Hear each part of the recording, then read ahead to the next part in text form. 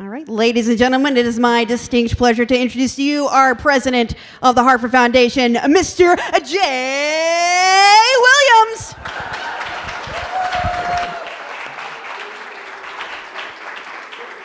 Well, good evening. Thank you, Stephanie, for the always exuberant introduction that uh, you know really sets the bar. So hopefully, I can be as entertaining as the introduction was. If not, I'm in trouble. Uh, well, welcome. Thank you all for joining us here this evening. I can't tell you how excited we are uh, to be here in Bloomfield, to have an opportunity to hear from uh, you as residents, as stakeholders. Uh, I know some of our nonprofit partners here. Uh, and let me just set the context. This is the 12th uh, conversation, listening session that we have had in our endeavor to touch every one of the 29 communities that the Hartford Foundation for Public Giving serves. And we made a commitment last year to come uh, and reintroduce ourselves to the community uh, to really take the time to approach our work in a different way with humility, with flexibility, uh, taking on more risk, being informed by what the stakeholders have to say. And there is no better way to do that than to hear from the stakeholders uh, in their own hometown or the town that they're currently residing in. So we're going to show a quick video, but I just want to tell you the robustness of the turnout here, the energy in the room is palpable. Uh, as I was coming in, uh, this is our largest of the 12 thus far. Uh, and as I was coming in, absolutely. And, and, let me tell you, I, I, am so impressed. As I was coming in, I mean, there I saw a license plate from Texas. So I, I, don't know what that means, but I mean, we're drawing folks from Texas here to Bloomfield to have a conversation. So God bless you. You know, so we will start off uh, with a quick video just to set the context, and then really get into the conversation because, like I said, I mean, this this isn't for me to stand here and give a monologue or a soliloquy. This is for us. Uh, myself and, and the many staff members who are here to hear from you. We've got a couple of opening, leading questions, but this is about uh, the town of Bloomfield and, and, and how we can be a better uh, partner, how we can be more impactful, how we can be a more valuable resources to the aspirations of the residents and the stakeholders here. So we'll start off with our video. So, you want to leave a legacy? Why not send me to college? Help me be a better provider. Or help support local programs.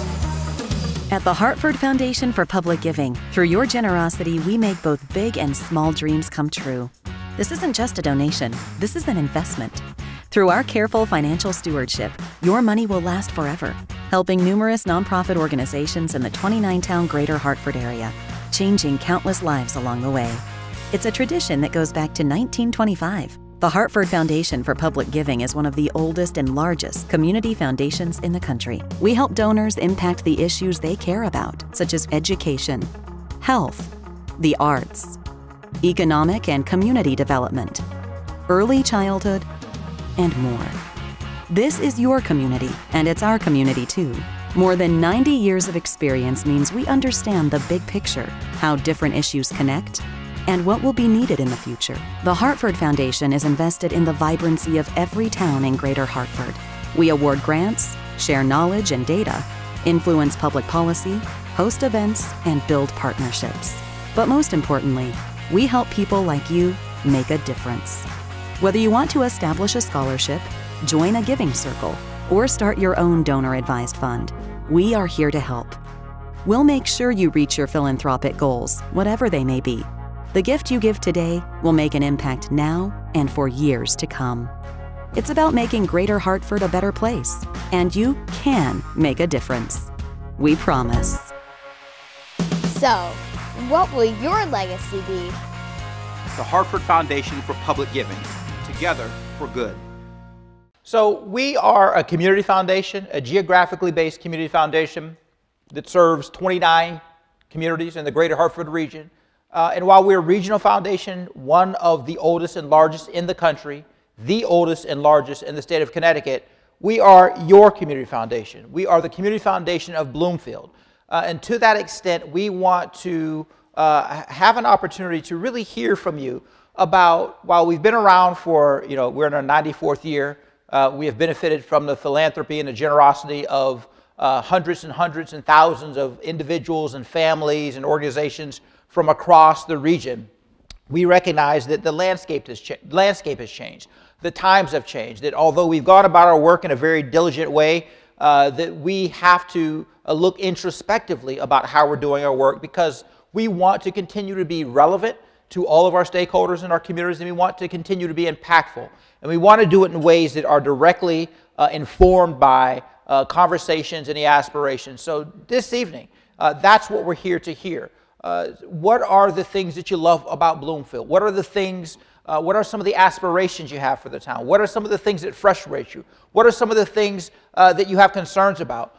those things are important to us to help us understand, better understand how to go about doing our work uh, in new and, and, different ways, how to perhaps continue and, and, and, scale or go deeper in ways that have been impactful, in ways that aren't working, how to figure out new approaches. Uh, and that is best served by coming from you. So uh, this is where we'll get started. There was a lot of energy, a lot of discussion. Uh, so I know this is not a shy group. Uh, I was, uh, you know, and I, I was watching Nancy as she was doing this, and, and she's pretty straightforward. Uh, she was in effect, not in effect, she just outright told me to keep my responses short. She said, if you have something to say after, she said, keep it short because we have a lot of folks here. So I will, I have been duly instructed and directed by my staff to do that. Uh, so let's open, let's really open it up. Questions, comments, observations, perceptions, feelings about the foundation, but more importantly, about the town of Bloomfield and how we can be a more impactful, valuable partner for you know the coming years, the coming decades, uh, because we uh, exist in terms of our resources in perpetuity uh, for the benefit of residents and stakeholders of the town. So I'm just going to open it up, and, and if, uh, you know, after a few seconds there are no hands, I've always say if you make direct eye contact, that's a signal, signal to me that you have something to say. So either put your hand up or look away, avert your gaze. One way or the other, we're going to get our conversation started. So I'll open up the floor. Yes. Right behind you. Right Since nobody wants to go, I'll, I'll start it. So, okay. Uh, Lori Julian, I'm a 20-year uh, resident of Bloomfield, almost 20 years. October 1998 will be 20 years. And it, we moved here originally because of the small town feel. And uh, in between beautiful places, we have Simsbury, uh, we have a popular West Hartford, but yet we're close to the city, so able to get in and out real quickly. But yet Bloomfield, uh, at the time, at the time had a rural feel to it much more. I, I understand times change and economics. So my main concerns are uh, number one, keeping the open space, keep an open space, which has always been my interest, and then also what has become a problem is the traffic in Bloomfield. And so uh, I think we can learn a lot from our, from our neighboring towns, especially Simsbury, that is a bike-friendly uh, town, a community, as well as West Hartford, which has, I believe, three times the population of Bloomfield, and I know they're different, but they have already advanced and have uh, traffic calming techniques on the roads. And I, I know that uh, a lot of people use our streets, our, particularly our residential street. I live on Maple Avenue. And so I, I would uh, advocate for uh, bike-friendly paths, or bike-friendly lanes, I mean, traffic calming, so, so people can walk. And I, I know that, uh, that uh, our health is important in Bloomfield, maintaining our health. So that's why I think that uh, we, we could make our streets uh, more pedestrian friendly, Thank bike you. friendly. Thank you. And, and uh, your comment actually uh, reminded me two things I didn't do. One is thank uh, Senator, State Senator Beth Bye uh, for hosting us. She is the director of the Auer Farm here. So thank you for opening this facility. And when you talked about open space, the fact that we are here at Auer Farm uh, is directly related to uh, uh, donors to the Hartford Foundation uh, amongst our largest donors uh, and most historic donors, the Auerbach family. Uh, and their generosity, which has allowed and facilitated not only where we are here today, but so many other things across this community. So the preservation of that feel of the town while balancing the notion of economic development uh, and the increased activity that comes along with that. Uh, you know, again, that's what we want to hear, those priorities and, and, figuring out where we can be of assistance and working with, obviously, that involves, uh, you know, the public, uh, uh, the town, municipal town leadership, but to the extent that that becomes a, a priority and there are areas for us to, to collaborate, we, we very much welcome that. Thank you for hosting this and coming out, and you can see a lot of people find this very important. We're so, excited to be thank here. Thank you. Yes. Beth. Hi, um, Beth Bye, as director of Auer Farm in Bloomfield. One of the most common calls that I get here is from there are sort of two populations um, parents of kids with disability who've turned 18, 19, 21, 22, who say, My kid loves animals, they need a job, they need some job skills, can they come work here? And then parents of 18 to 23 year olds whose children maybe went to college and, and didn't finish, or just looking for a link to job skills. And I'm sure other nonprofits experience that as well in town. There's just no capacity to, to do that sort of thing. So there are these job training, but people are desperate for those job skills for young adults, whether with disabilities or not with disabilities, trying to find some track for them. So I would say, as a nonprofit in town, that's something I experience regularly. I appreciate that, and that speaks to uh, our, our, investment in one of our investments in, in our Career Pathways Initiative, uh, seeking to build the capacity and, and, and figure out uh, collaborative investments with organizations that provide those. And, and we've heard while there is a, uh, you know, the economy is doing very well and has been doing very well uh, for a number of years, uh, th- there are still individuals, as you've described, who have not been able to benefit uh, often, very often, because of the lack of those skills. And, and, and even in an economy that is uh, with unemployment under 4%, uh, there are still employers, both large and small, who can't fill certain positions uh, because they can't find individuals with those skills that we've sort of gotten away from. So I think that speaks to the importance of uh, our career pathways initiatives. But again, uh, our, us being one part of it, it really is those nonprofit organizations uh, that you talked about that also need to, uh, to the extent we can help bring them together with the employers. Because getting the skill sets, uh, it's important that those skill sets are directly relevant to those employers' needs. So to the extent that we can help broker those conversations, we appreciate that. Yes. Piggyback on your last comment, one of the concerns we have in town with regard to youth and education is the um, need for greater contact with the business community and help to train some of these young people to with job directions.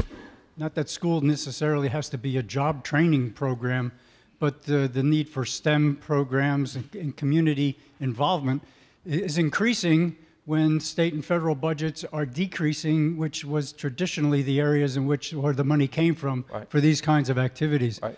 While, while the federal government has passed a new tax package, putting more, peop- more money in, in pockets of business and wealthy individuals, it sort of speaks to the need for those businesses and wealthy individuals now to pick up the social costs that were once being uh, handled. Uh, that's a real issue. We have kids who are in school who are, who are not motivated by uh, opportunity in that way. So I want to just mention that, but also pick up on the earlier comment. I've been in this town for 50 years. I came here because of the diversity of population, the wealth and wonder of open space and park facilities, and the small town feel. And um, I think uh, we see every day that it's improving. And we're, we're uh, so I, I'm thrilled to have a group like this here. I volunteer here at Auer Farm, and also I'm on the town council. So, uh, uh, name is David Mann. and, and, and I hope that everybody that comes out here, uh, many faces are familiar uh, who do participate in town activities. I hope you'll come more frequently and participate because this is a community that wants to be outdoors together, wants to work together and not be held up, closed up in our homes. So, what a wonderful sentiment. Thank, thank you. you. Thank you. The lovely woman in red. I sorry, I saw your hand. Yes, ma'am. Betty Hardison, Bloomfield 57 years. Whoa. Yeah. Um, I appreciate the fact that the Hartford Foundation funded an after-school program for one of the grammar schools in Bloomfield, and I hope they continue to do that. Thank you. Thank you very much. We appreciate it. Can we stay local? Uh-huh. Hi, my name is Perry Reed, and I've lived in Bloomfield most of my life. I've noticed that there's a big change in Bloomfield right now with all the new developments. I've seen condos, houses going for a million dollars. That was not the case a couple of years ago. I was here when Cottage Grove Road was only a two-way road. The Copaco was a butcher farm. I've recently noticed that big monstrous apartment complex that they built over by Bloomfield Avenue. How that got passed, I don't know because it's in the middle of the road. Um, and what I've noticed is that the apartments or housing in Bloomfield are becoming so expensive that there's very little affordable housing left in Bloomfield. I mean, there's apartment costing $3,000. That was not the case before. A lot of people can't afford $3,000 apartments, and it's pricing out um, low income to moderate income. And if you're renting an apartment for three, three, four thousand dollars a month, that's not housing that can that provide with children. Parents, not a lot of parents can afford that with kids. Those apartment prices are for young people. You know, it's not for families. So my big concern is right now we're losing, where we've probably lost affordable housing in the town of Bloomfield for families. Yeah, I appreciate that, and I can tell you that that is a concern that is shared by. Uh, I was here uh, with one of my staffers about a month ago with the mayor, uh, and we had that conversation about um, Bloomfield being able to attract a diversity of, of residents, uh, not just in terms of race and ethnicity, mean, that's, that's important, but in terms of uh, those residents who are uh, starting in the early part of their careers and, and who may be single and looking for uh, that type of housing. Those residents then, you know, grow a little older and decide they want to have a family. And the idea to be able to have that family and stay in Bloomfield uh, and not have to, you know, move to another community. And then as uh, those families grow and, and maybe add another a child or so and, and, and get, begin to mature, and they go through the spectrum of then being able to uh, you know, choose to retire in Bloomfield. But the whole notion of having a variety of housing for those who, you know, and that's a wonderful thing to have folks in the community who say they want to pay the million dollars for their home and, and, and, and, and wonderful that that's an option, but at the same time, not having that come at the expense of, of a family who, you know, may have one, two, three, or four, any number of children, or multi-generational families, you know, for those individuals that have, uh, you know, my wife and I, we find ourselves in that regard of having a seven-year-old son uh, with us, and um, uh, my mother, who is seven, who will be 71 next month, both with us. Uh, amazingly, both very energetic and active, uh, and provide you know unlimited moments of comedy, seeing a seven-year-old and a 71-year-old interact in ways that that uh, we just couldn't imagine. But the point is, having that this community continue to to have that, and it is a difficult balance sometimes to to uh, welcome growth and investment uh, but still maintain that balance. So I can tell you that that was very much uh, both the mayor and the town manager, as we had this conversation uh, uh just a month or two ago, uh, expressed that as, as an as a aspiration and a goal of the town of Bloomfield. Claudia?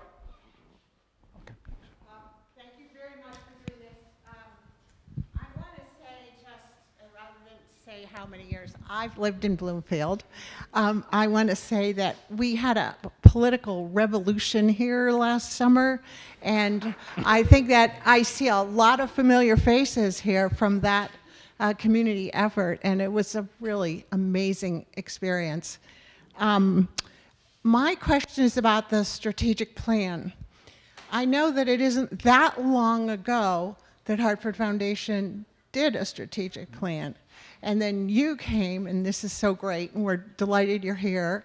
And I wonder if you can give us any ideas, to, if you can share any ideas about what you think will happen next. Sure. So uh, the last few strategic plans of the Hartford Foundation have been three-year strategic plans, and, and, there's no magical number that says it has to be three years, but you want it to, you know, be long enough to get things done, but not so long where, uh, you know, it doesn't become relevant anymore. So we are in the third and final year of our current strategic plan. That strategic plan has focus on education, learning birth through college. It's focused on vibrant communities, which is a, a broad encompassing from arts and culture to basic human needs and, and social services. Uh, and it's focused on family and economic security. So, as we are in the midst of uh, putting together the framework of our next strategic plan, I'll give you a little bit of insight. I don't want to get in too much trouble because we haven't we haven't talked to our board yet. So if I reveal too much and the board decides they don't like it, you may be seeing a new president of the Hartford Foundation, you know, this time next year. Uh, but I think it's fair to say that uh, we are not abandoning by any stretch of the imagination uh, our investments in education and arts and culture and social services.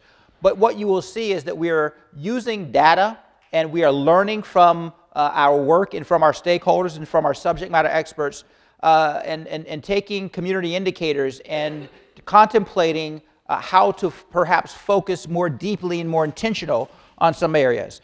Community foundations and organizations often struggle, uh, you know, you can't be all things to all people. And particularly when you have a community foundation that has the resources, people say, well, look at all the resources you will have. And it's just easier uh, the easy thing to do is give just a little bit enough to everybody so you keep the most people happy that you can. But at the end of the day, you say, well, where's the impact? What difference has that made? So, what we're looking at this year is to, when I say this year, for our next strategic plan, which will, uh, in effect, if approved by the board, will take us from 2019 you know, through, through 2022. Um, we're looking at how we can continue to uh, support uh, the broad areas uh, of education, uh, the social services, basic human needs, arts and culture, things that are important and that we've heard are important to all of our communities. But at the same time, figure out, well, the data is telling us here's where the need is the greatest. Here is where uh, the disparities uh, are, are, are, are very pronounced in ways that perhaps a targeted focus from the foundation and others may be able to demonstrate an impact over those three years. And then if we see success, we can scale it, or we can deepen it, or we can replicate it.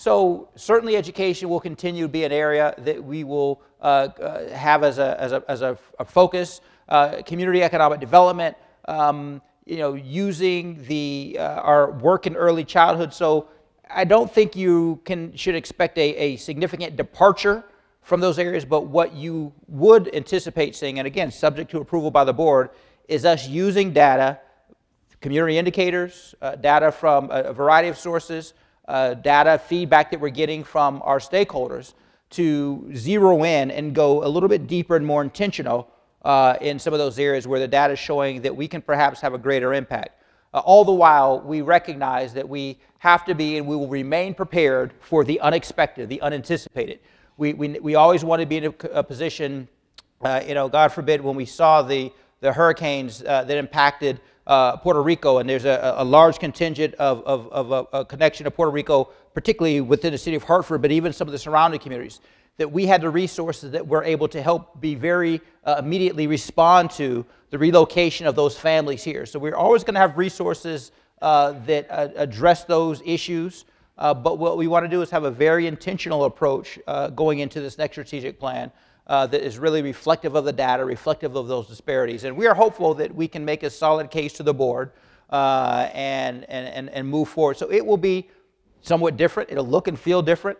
We understand that might uh, engender some consternation through the community, but I think when we present it, uh, and present how we are still going to have a very comprehensive approach. We're hopeful that it will be receptive and more hopeful that at the over those three years, we'll be able to see, demonstrate, and measure the impact of the investments. And that's really also what our donors are telling us that they love uh, you know, the community, uh, they trust us with their resources.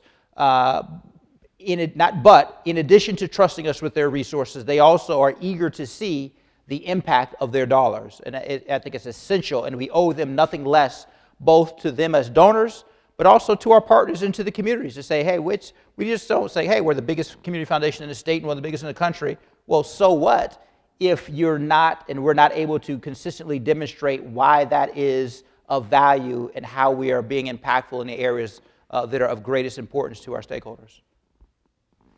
Yes. I, I had a question about the strategic plan, and I'm Mary Pelletier, and I actually live in Hartford, but I work on the uh, the Park River Regional Watershed, and 68% of Bloomfield is in the in the North Branch of the Park River, the drainage basin that stretches east to the Metacomet Ridge to the Connecticut River.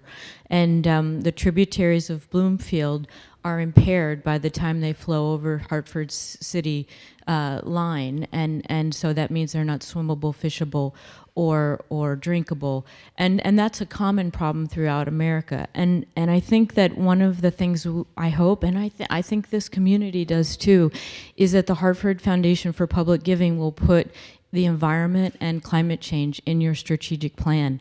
And that's going to be tough because there's only you know, three years uh, impact, um, we're talking about reversing 100 years of, of, of, carbon dioxide into the atmosphere, which, which does impact our rivers.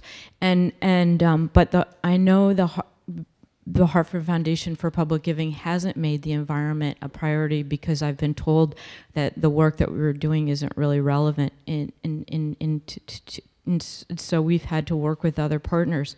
Um, but I, I think I think this community has really come out for the environment. They've done a lot of awesome things, and and I don't know if they've signed the Paris Accord, but I think that that leadership, municipal and and and and, and foundation leadership is needed in order for the next generation to really have a chance. Well, well thank you. And, and again, I, I, you know can't speak to, to the past, and, and, and certainly not looking to be critical of that. Uh, but we are here for that purpose, to, to help inform our next strategic plan. And just to be clear, when I say a three-year strategic plan, that doesn't mean we go three years and then just move on to something else. It means that for those three years, we identify uh, where we can make the impact, how we can have an impact, and build on that. Because you're right, three years isn't enough time to reverse whether it's you know damage to the ecosystem or the rivers, or you know reverse the educational decline but what it does is allows us to very much study and learn from how we can make a difference. So uh, I'll, I'll, stand here and tell you that as the president of the Hartford Foundation, uh, you know, environmental uh, issues uh, are relevant. Uh, they are important to us as a foundation. Uh, they're important because we're not just a foundation. We all live in one of these communities, you know, ourselves, whether it's here in the region or, or, or in the, in somewhere in the state of Connecticut. Uh, we also had a conversation uh, a couple of months ago with a, I can't remember her name, but she's with Sustainable Connecticut, Sustainable CT, talking about uh, a number of the communities that have signed on uh, to Sustainable CT, which uh, does obviously, well, not obviously, but it, what it does is it lists a number of environmental and ecological uh, concerns, climate change, resilience, and a whole host of things. So it is relevant work. we're here to be informed about how to uh, ensure that this strategic plan is encompassing of things that are important to uh, the stakeholders and residents. So thank you for sharing that. Yes, sir.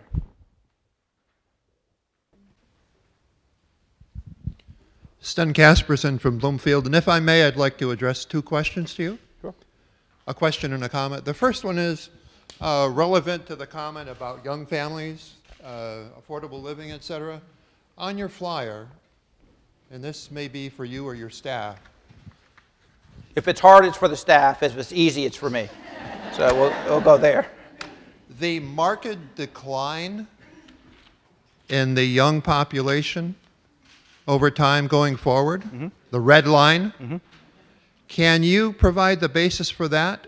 And can you tell us if this is something that's more uh, relevant to Bloomfield than other towns, or right. is this a trend overall? So I can answer the second part. This is a general trend that we've seen overall. Uh, this is a trend uh, certainly not unique to uh, Bloomfield, not unique to uh, even you know this quarter the New England, the state of Connecticut.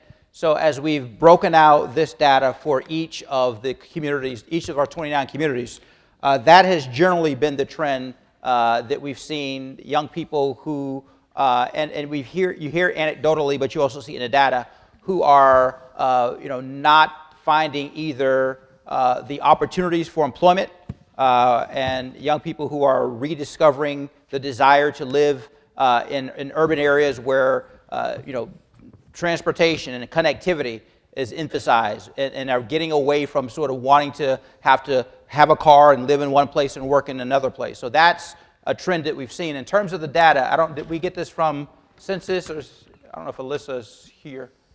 Uh, yeah.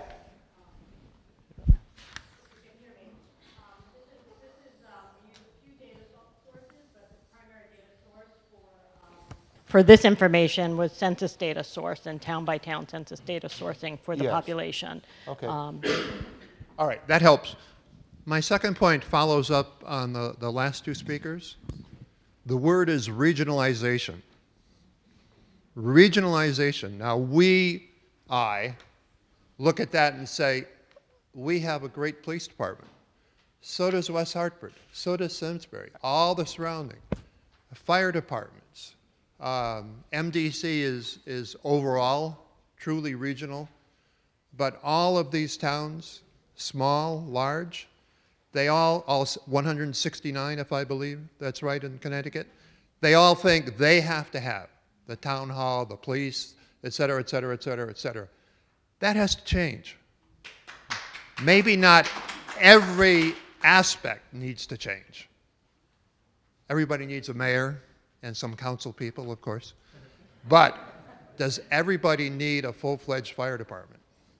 Just as an example. Can you respond, can you uh, address how Hartford Foundation can help with that? Or I- at least enter the, uh, enter the ring on the subject? I, I can't, and I'm smiling and, and laughing because I mean that, uh, you know, you have put that in the most, uh, you know, succinct and and and and um, compelling way. I heard uh, one of my colleagues, David Griggs, who was the new president of the Hartford of the Metro Hartford Alliance, say this as we were on a panel, and it was my experience. He said he he was here 10 minutes, uh, locating relocating from Minneapolis. Uh, and within 10 minutes, the first thing he learned was Connecticut has 169 towns, uh, and he should never forget that. Uh, each of those towns, unique, special uh, places, and, and, and, and have a very rightful claim to that pride. That being said, uh, it is also, uh, it can be a very much a detriment. And I'm smiling and laughing because as uh, a former mayor of a city very similar to Hartford, surrounded by lots of other smaller uh, communities, well, not- not smaller like inferior, but just smaller size and smaller population. Uh, I had to stop using the term regionalism because I mean it just it was when I said regionalism, they heard, oh, the mayor of Youngstown wants to pawn the city of Youngstown's problems out onto Boardman, Canfield, Austintown, Poland, which are the equivalent of, of some of these towns. Uh, and uh, you know, we moved away. Those are city problems, and you guys got to figure it out. And don't get me wrong. I mean, city, every town, every city has self-inflicted issues, and we don't always do ourselves a, a, a justice by uh, how we uh, address some of those things. But you are right. Investment, people from on the outside, issues don't define themselves to municipal borders. You know, uh, economic investment of the challenge, and you spoke about this. The tributaries that flow from Bloomfield don't all of a sudden say, oh, we're about to cross over into Hartford, so now all of a sudden we're impaired. Those issues are issues of regional relevance. So, to the extent, uh, it, it's almost as if you were sitting in some of our discussions as we talk about uh, this, uh, our place. We very much believe that we have an obligation to use our bully pulpit, our platform, to start raising our voice even more consistently on issues of regional importance. Uh, we can't dictate, and we're not in a place to dictate to uh, towns what they should or shouldn't be doing, but to the extent we can incentivize that, to the extent that we can bring together discussions of other areas that have figured out how to be more regionally relevant and cooperate in a regional way. And regional cooperation doesn't mean erasing or eradicating or diminishing the history of Bloomfield or, or Tolland or, or, or, or uh, Marlborough or any of the, our communities. Uh, you know, that's still very much to be embraced, but it does say, how about a question of services? Does it really matter when you call 911? Does it really matter whether that 911 center is in Bloomfield or Avon or you just know that you want immediate re- competent response? Where technologically it's routed to and from is, is less relevant than the, the, the first responder showing up at your door. But I've seen this because communities get caught up in, you know, Youngstown had its 911 center at City Hall. Literally across the street, Mahoning County had its 911 center. Five minutes away, Boardman had its. I mean, and it, it was they were all multi-million dollar operations uh, because people thought, oh, if somehow it doesn't sit in my backyard, it's going to diminish the quality of life. So we are increasingly using our platform to both incentivize, to speak to, to help convene conversations around that, uh, speaking to that even at the state issue, issues uh, that as the state makes some of its decisions, and some of that uh, you know, lack of cooperation is the way that the state operates and the way the state distributes some of its resources. So tough decisions have to be made. Uh, but to the extent that each one of you uh, has an opportunity to, to, to vote and to, to, to, raise your voice, that's important. You know, we are a nonpartisan, uh, you know, organization by, by law and by definition. Uh, so we advocate and, and issues that are nonpartisan issues. Uh, and, and this really, not, this isn't even a partisan issue itself. So yes, that is a, a, one of the things that we are considering how to uh, ensure is a part of our strategic plan, a part of our actions and our activities. And this is also something, and I can say it's, it's been refreshing that we've heard. So we've had 12 of these, probably in almost each of the previous 11. We've heard people express a love for their town, but also an importance of being connected to the region, a recognition uh, that this is a region. We will rise or fall as a region. We are defined as a region whether you know, we, we, we like it or accept it or not. So when it comes to economic opportunity, when it comes to being able to improve uh, services, uh, you know, anything from, again, safety services to uh, even if you wanted to set aside that for a moment, I mean, basic services like, you know, refuse collection and recycling and, and, and other things, or, or, or the dog catcher. I mean, you, really, eh, you just, as a citizen, want and understanding you're paying for, you know, so you, you want to pay a fair price and get a good service, uh, and that can be accomplished in many instances through more collaborative efforts. So uh, we do think we have a role, uh, and, and the more that we hear that from our donors, constituents, I think the more it validates that approach. So uh, it is very much a part of our thinking, and, and, and you know, sticking our neck out, and that means that some people may disagree, but uh, that's okay because we have heard that as a priority more and more uh, from uh, people from across each of the communities that we've had an opportunity to engage. So thank you for sharing. Yes, she just put her hand up. Good evening. My name is Angeline Crossdale, and I have been in Bloomfield for 17 years. Um, not as long as some people, but um, near and dear to my heart is the education process that we have in Bloomfield for the public schools. And thank you for supporting with $673,758. We appreciate that. Um, what's lacking in Bloomfield currently is after school enrichment, academic enrichment um, programs. We don't have any um, after school academic enrichment programs. Um, there's sports and you know those type of enrichment programs throughout the um, public schools, but nothing academic. No after school math enrichment, language enrichment, science enrichment programs. And I see that you donate a lot of money each year, uh, or for the last three years. Um, so, and I hear you talk about incentivize. So I'm going to ask um, or encourage you when you donate again that you incentivize the public schools to um, come up with some sort of a, uh, academic enrichment after school um, programs from kindergarten to middle school, so up to high school too, if thank possible. You. Thank you. Uh, we would welcome that conversation, and, and part of what we uh, find is that there are conversations and ideas that start here that obviously with limited time, you know, we can't uh, get more extensive. But one of the things I would uh, encourage you to do is we would welcome, you know, continuing that conversation about how that approach, not only with the schools, and obviously they play a critical role, but through partnering with uh, nonprofit organizations. And there are a number of uh, scenarios where organizations, uh, sometimes within the school, other times not within the school, do have those academic uh, after school enrichment programs. Uh, Jackie Coleman is here as she leads, uh, along with her team, our academic investment. So I would encourage you to contact Jackie, and, and, and Bloomfield is in your portfolio, right, Jackie? So it is now. So, see? Thank you. Yes. Yes, ma'am. My name is Ruth. I'm a newcomer. I've only been here six years, but I love this place. And uh, one of the things I wanted to say is I thank you for all the work you've done already. I love the Land Trust. You've made an impact there, and certainly the Historical Society and the library. But I want to talk, and it piggybacks a little on, on the kids. Uh, we, we lost an opportunity to have a new library, and I'm not going to go there again. I don't want to cry.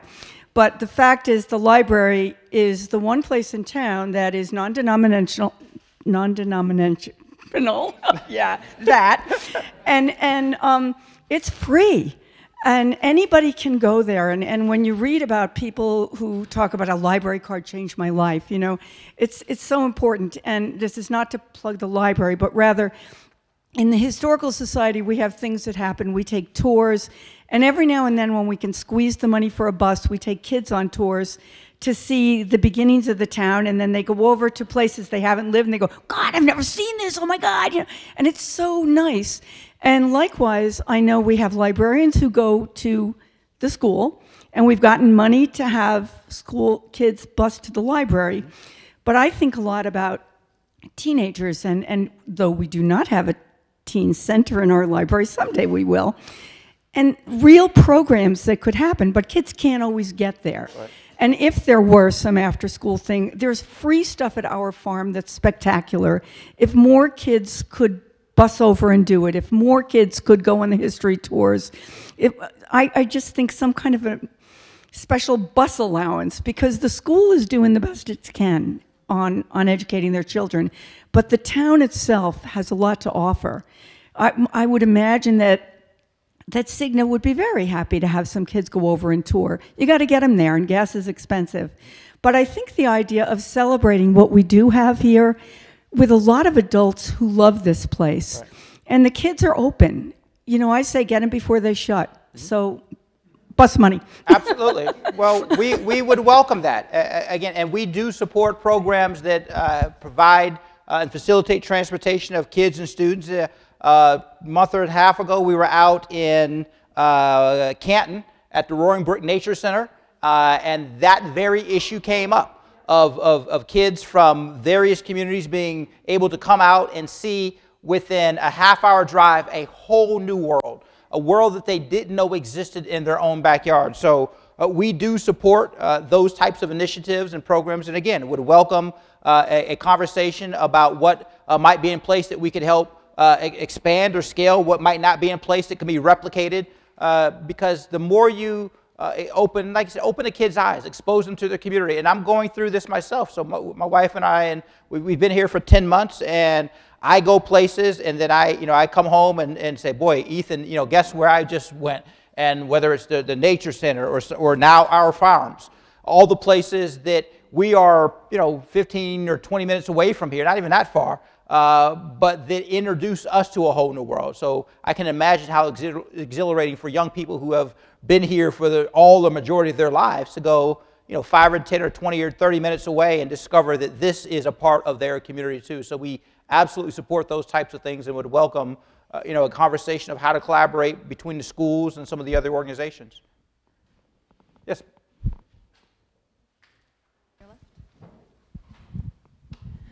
Uh, Paula Jones, I've been here, I think, 26 years. Um, and first of all, I echo what everybody said before, I agree with. Um, I'm on the board of the Land Trust, and first of all, I, I want to acknowledge the fact that Hartford Foundation for Public Giving has supported us on a couple of really wonderful acquisition projects, uh, Hawk Hill Farm for one, and that's just wonderful in terms of connectivity. It's land that's open to everybody, um, and it's great for the critters as well. Um, I grew up in Maine, and I see far more wildlife in Bloomfield, Connecticut than I saw in Maine ever. Um, I want to echo what Ruth, Ruth Ann said. Um, I think with respect to the environment, um, I had a, a, wonderful childhood and I had access to the outdoors, and I just gave me a completely different appreciation and understanding of the importance of the environment. And I feel like um, a lot of kids in Bloomfield don't have that opportunity. Um, they're rightfully fearful of things like ticks, I get that. Um, maybe bears not so much. So um, to Ruth Ann's point about having enrichment programs and ways that um, more people could access some of the wonderful um, resources that are available in Bloomfield, that would be great. So that's one point. Um, the other thing I want to mention, though, is I went to a really wonderful um, fundraising event the other night that um, Waypoint Spirits put together a couple of the partners for the Hyacinth Williams Foundation. That's the backpack program um, that uh, you know gets kids food over the weekend if they don't have enough to eat. Um, it's a wonderful program, and I guess the point I'm making is that you know it's hard for kids to get excited about enrichment programs, be it the library or academics or the environment if you're hungry. Right. So I think that is still a problem in Bloomfield. Um, I'm somewhat insulated from it, but I think those things are really important as I well. appreciate you sharing that. And and again, it's almost as if this is this is ref, this is energizing, inspiring because about two hours ago we were sitting, uh, the executive team and I were sitting in the conference room. Uh, really talking about the framework of our, our strategic plan. So to be able to share some of that thinking with you, but more importantly, to hear some of what you're saying is validating uh, the conversations that we were wrestling with uh, and you identified, you know, the basic human needs, right? All the enrichment programs, transportation, exposure to the wilderness uh, will be for naught, you know, if the kid, the student, uh, is is hunger. You know, that's the focus of just survival. So the notion that while we are putting forward uh, the things that we talked about in education and, and, and workforce, that we very much are remaining uh, centrally committed to those basic human needs. Uh, and that is something that uh, we have heard in other communities that they say that when you, and this was, I think we were in, um, I was in, we were in Simsbury. Uh, it was either one of the listening sessions or I was there for something else. And they say, you know, if you look at the demographics of our community, you see, you know, the median housing prices, you see the median income, and it's, you know, uh, higher than, than, than the area average. If you look at, you know, the vehicles, if you just took a snapshot, you would not think that this is a community uh, that is uh, uh, experiencing some of those issues. Uh, so, but what they were saying is that people are experiencing it uh, who might, you know, live in a house that is a house that could be on a cover of Better Homes and Gardens. Uh, but the reality of the struggle that is existing, and it's a quiet struggle. And they talked about, you know, there's this notion of that we all have the dignity and, and, and, and pride that is a good thing, but there is that it, it was, they were disinclined to want to take advantage of some of those because they said, well, that's not, you know, they, they have a picture of, of just a different uh, type of experience when they think of the need to uh, hunger and things like that. So I appreciate you highlighting that, and it really validates while we are being very uh, focused on some areas of need in terms of education and community economic development, the basic human needs uh, you know, aren't simply just issues that some people say, well, that's a, that's a, a Hartford issue or that's a, you know, a, a, an East Hartford issue.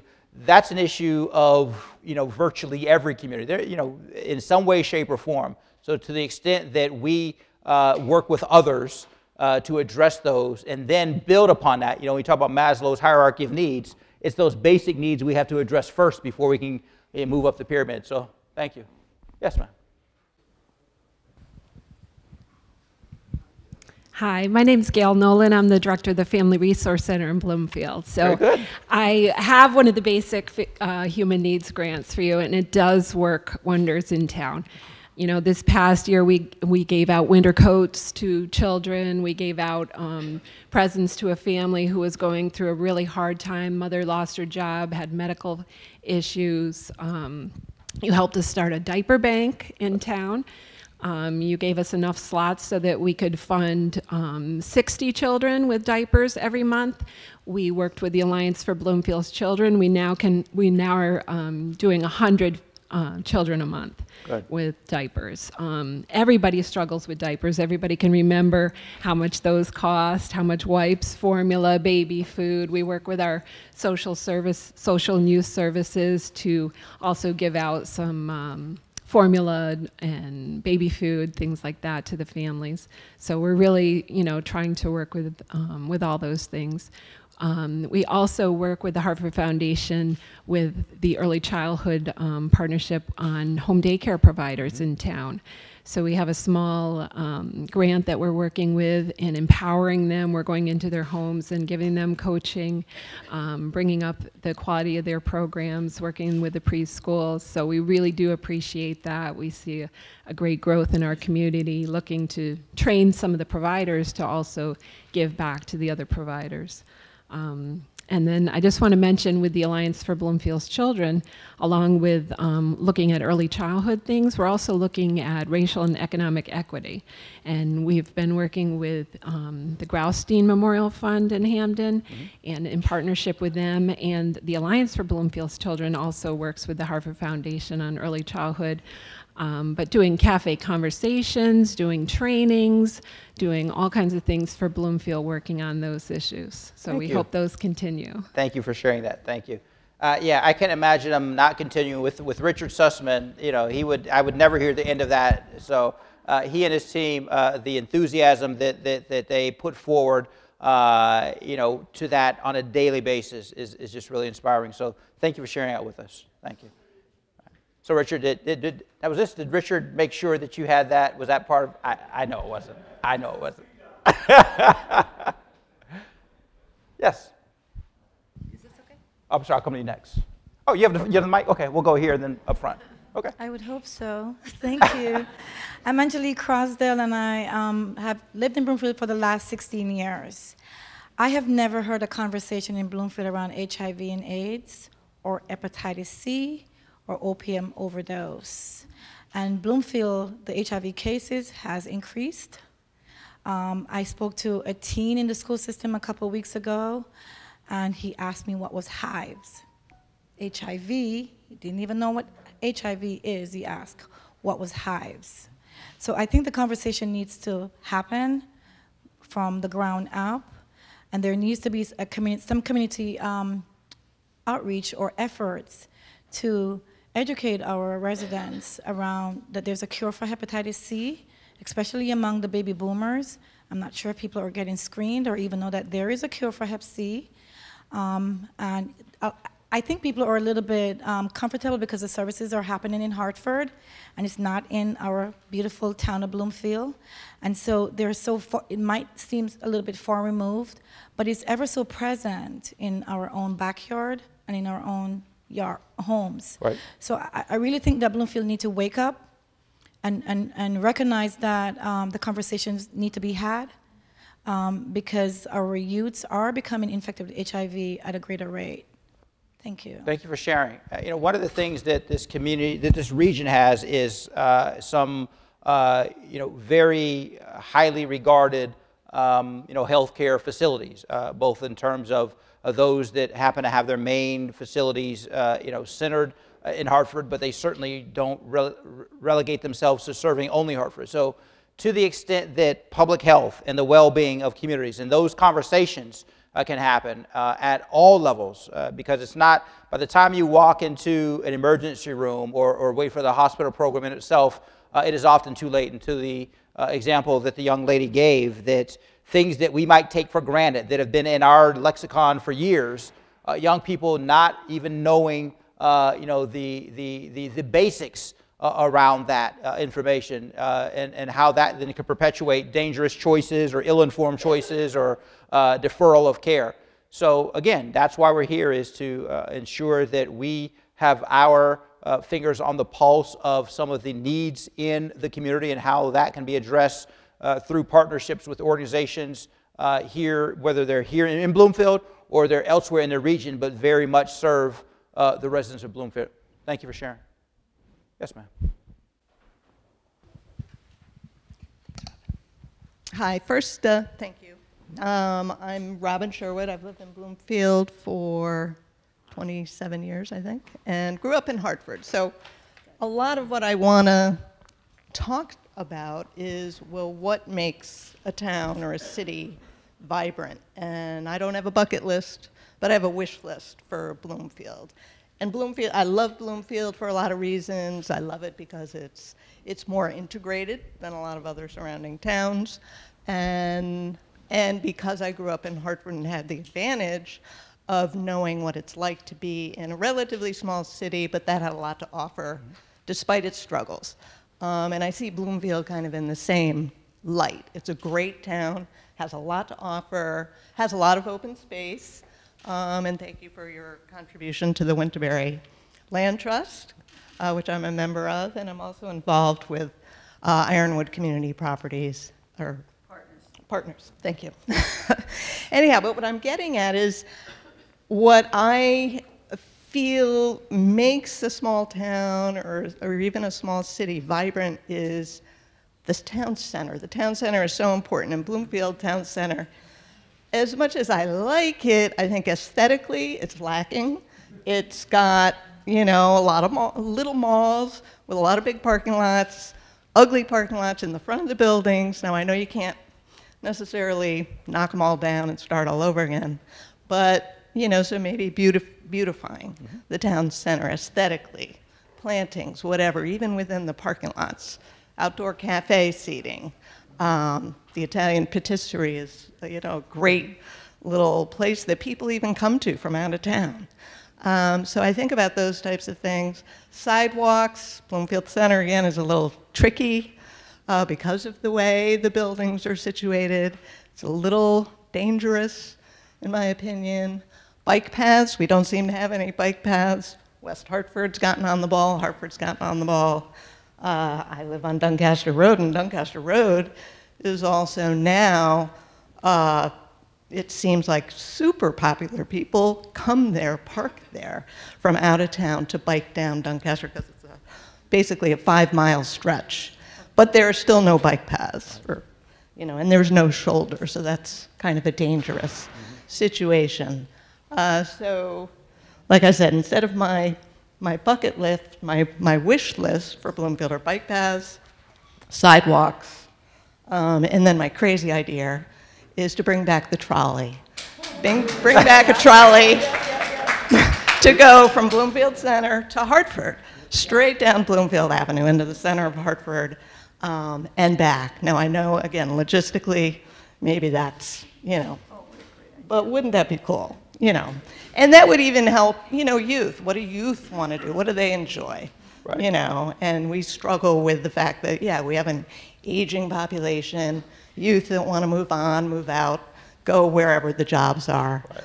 But, you know, these are things, Windsor seems to be doing a lot more to attract youth to the center of town. So I think about these things.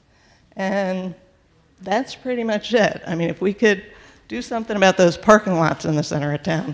I think that might be a start. Well, clearly you're not alone in the support of others uh, in your wish list. A part of what, you know, so this is, is, is not uncommon, and we've heard this notion of towns that value their town center, the feel, and, and what that says about the community, and, and how it becomes a gathering or a focal point. Uh, and part of what we are contemplating is how can we uh, as a foundation, uh, make an investment uh, in the community that the community can then begin pursuing some of those things uh, and, and it can begin leveraging an investment. So part of uh, what we hope to do is, is, is, really taking this and, and putting this uh, you know, on the table in discussions with you know, our board and, and, and figuring out how the resources that we have, because part of what we'd like to be able to do is you're spending a lot of your time and, and effort and energy uh, tonight with us. You all have demanding schedules and, and busy families and, and, and, a whole host of other places you could have been. But we don't take for granted that uh, you know, you're coming and having this conversation with us. And this is by no means a, us checking a box and saying, okay, we got Bloomfield, we've got you know, 17 other communities, and they're going to pat ourselves on the back and, and, and, and that be it.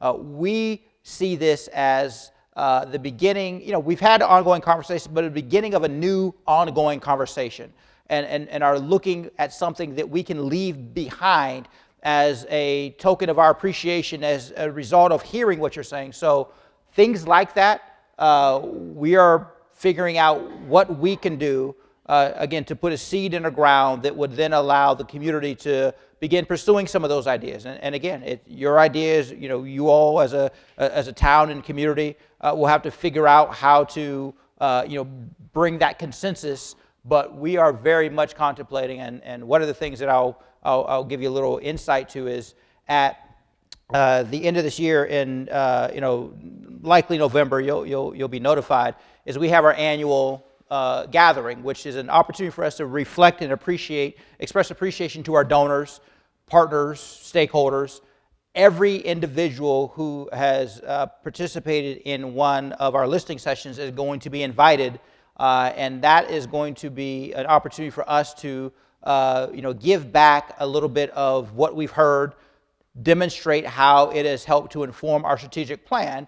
And we also hope to, you know, begin to use that as an opportunity to, in some tangible way, uh, show uh, our appreciation to the towns and the individual, the towns collectively made up of individuals who came out uh, that I think really start speaking to some of the individual things the town would want to do and us figuring out how we can help those things along in a way that, you know, would be, really show we heard you and, and we are really in this for the long term with you. So st stay tuned. Thank you. Yes, sir. I'll come back up.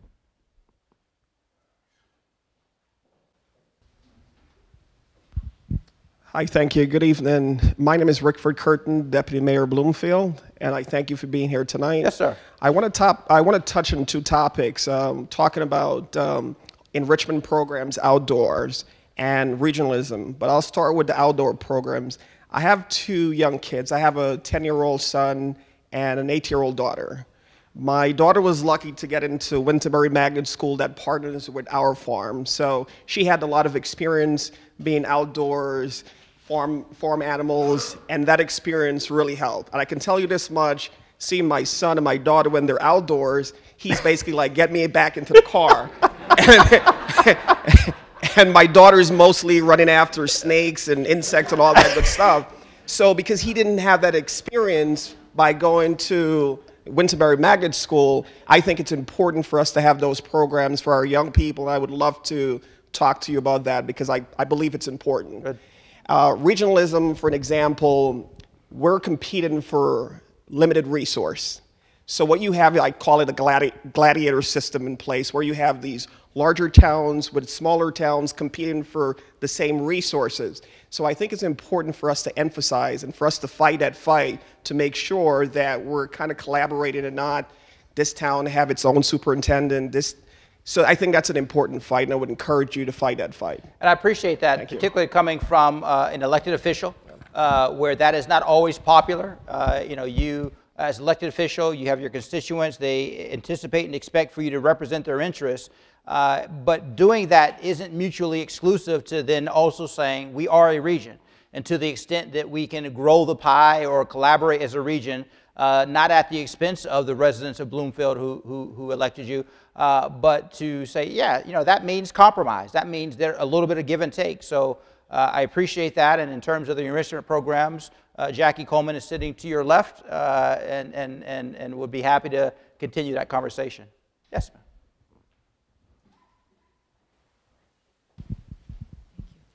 ma'am.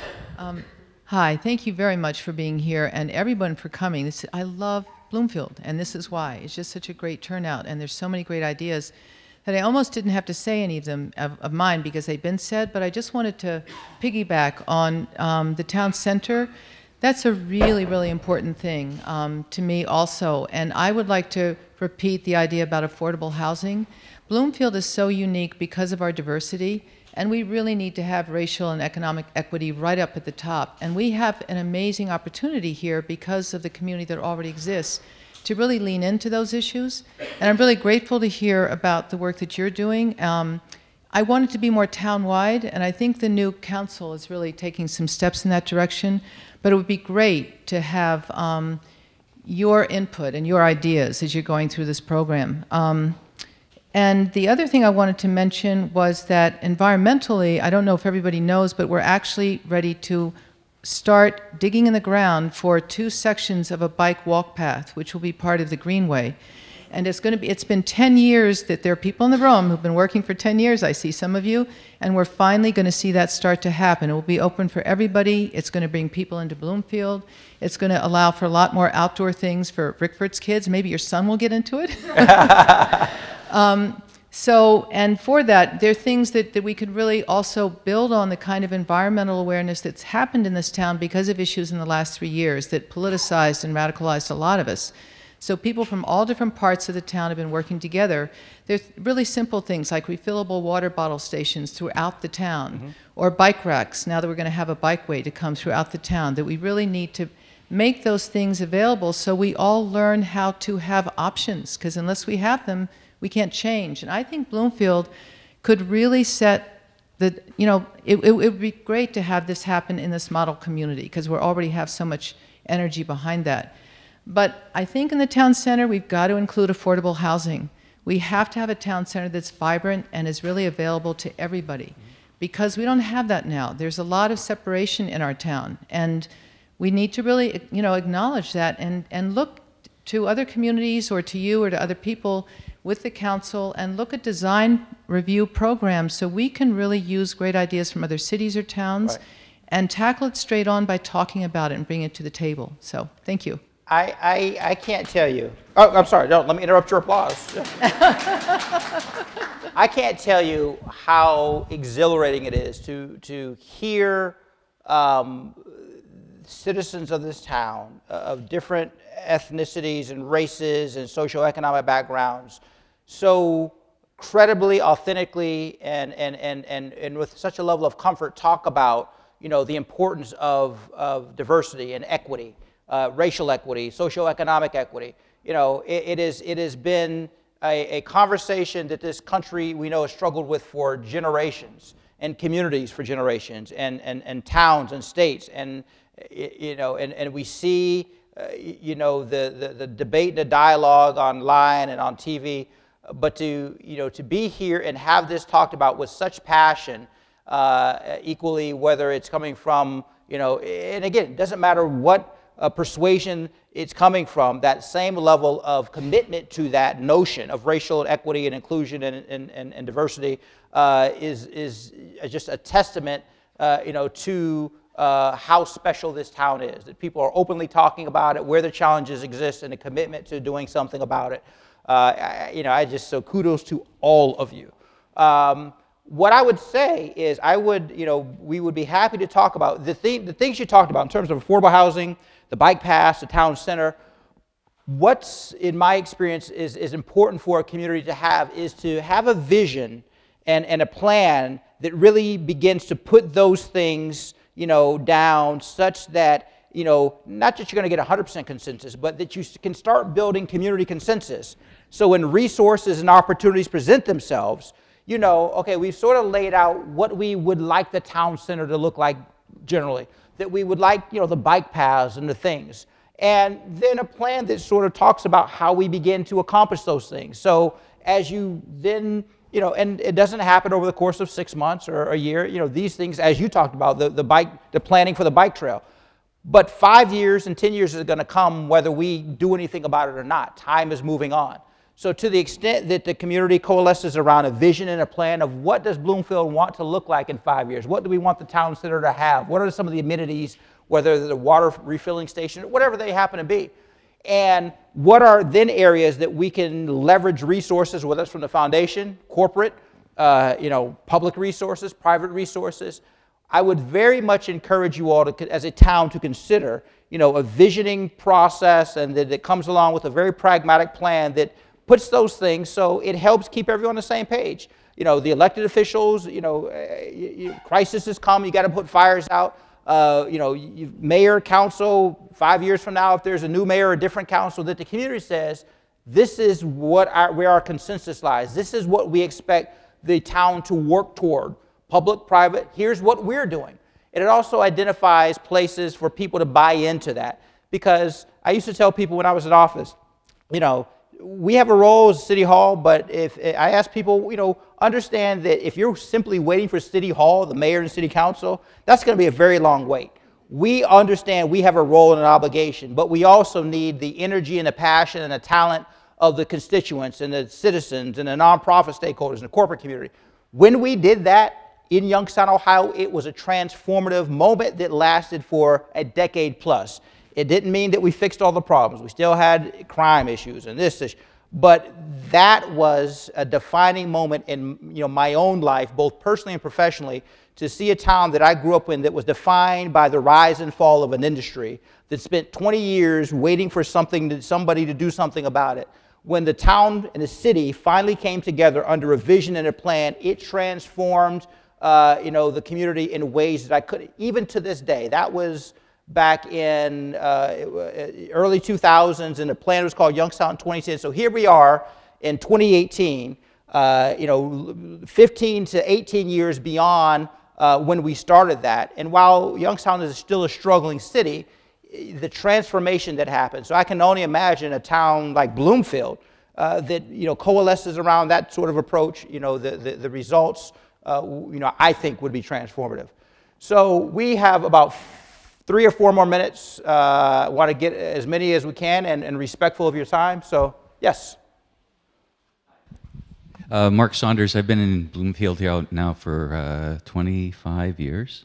And um, I'm wondering if the foundation has ever looked at any kind of a, uh, I don't know what it would look like, but a plan that would get um, musical instruments into the hands of, of young children that don't have those available to them. And I'm uh, could be band instruments and things like that. But you know, I, I, I grew up with Jimi Hendrix and Eric Clapton, so you know, like, like inexpensive. Grew up with them. I mean, like those were your no. I, I wish. I wish. Oh, okay. I, I wish. All right. In my imagination, I did. Believe me. Yes, I spent many hours with you them. Jam it out on the back lawn. Or, yeah, you bet. So uh, I don't. Again, I don't know what it would look like, but um, some kind of a, a, program that would get instruments into the hands of children that um, are looking for something like that, it, it, would give it gave me a lot of focus, and I think it would it would help. Um, it would help. The answer is yes. We have donors that have uh, very much uh, targeted and provided resources uh, to get instruments into the hands of, of students and kids. So uh, again, I would encourage you to reach out uh, either you know to our community investment folks and. Um, you know, we can share, you know, where, what that's looked like in other towns and other communities uh, donors that might have that interest. So absolutely yes. Yep. Yes, your hand up also. Um, I'm Sharon. I've lived in this town 50 years, and I have a question maybe to the community. I'm so excited to see so many people here. Is that I love this community because we all come together. We have potluck dinners, we have nonprofits that bring people together. And we can't always get money from the Hartford Foundation. So, what comes next is volunteers. And I find it very hard to understand why we don't get more volunteers to show up for events, to show up to help make an event happen. Um, we are the people, we are what makes happen. And how do we go about that? Is there some kind of uh, research that's been done on this? I've been involved from uh, 50 years ago when I was on the Peace, Board, uh, Peace Train Foundation to starting a theater group. And all these things have evolved through the years. And often I see the very same people at everything. And we have many, many faces in this town, and we are diverse, and I love that diversity. But how do we bring us all together so that we can show up at something where there's not just 10 people, but there's 70 people? How does that happen, and how can we make that happen more for the future? I unfortunately do not have an easy answer. I can tell you in every one of the previous 11 meetings, that issue has arisen. Every one of the meetings, people who are passionate uh, but say we need more volunteers. So because we've heard it at now 12 meetings, uh, you know, to the extent that we can help facilitate a conversation around that, how to encourage, how to inspire volunteerism. Uh, if there is research from other communities uh, within the state or across the country or anywhere else that we can find, uh, we will certainly bring that to bear uh, for those. So it is a universal uh, challenge and, and concern for those that show up, you know, great, and, and, and knowing that there are others who who uh, you know may be inclined to if reached out or connected in some way. So uh, again, we've heard it, 12 consecutive sessions. So you know to the extent that we can you know tap into some of our peer institutions, our other community foundations across the country to ask them have they figured that out, uh, and then to share that, we will absolutely do that. So thank you. So it is uh, a few minutes past seven. We're running a few minutes late. Thank you. We can't thank you enough for for coming out and showing up and sharing. Uh, and, and, and stay tuned. There is more to come as a result of this conversation. Thank you all very much.